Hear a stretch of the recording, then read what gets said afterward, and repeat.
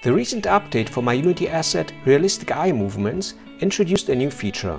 It now supports blend shapes that make the eyelids follow the eyes when looking left or right. Here's a character from Reallusion's Character Creator. She's looking at the target. Notice how the eyes now make the eyelids bulge left or right when looking to the side.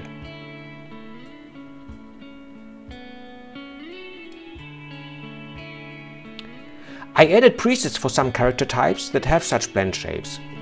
Reallusion's Character Creator 4 characters have such blend shapes, and also Character Creator 3 if you set the facial blend shapes to ExPlus. The new generation of DAZ Studio characters, Genesis 8.1, have such blend shapes as well if you add them to the export settings. So if your character is one of these types, all you need to do is import the new preset. If you have a different character type, but one which also supports horizontal eyelid blend shapes, all you have to do is to set the looking left and looking right eye and eyelid configurations in the setup. That's it. Good luck with your projects.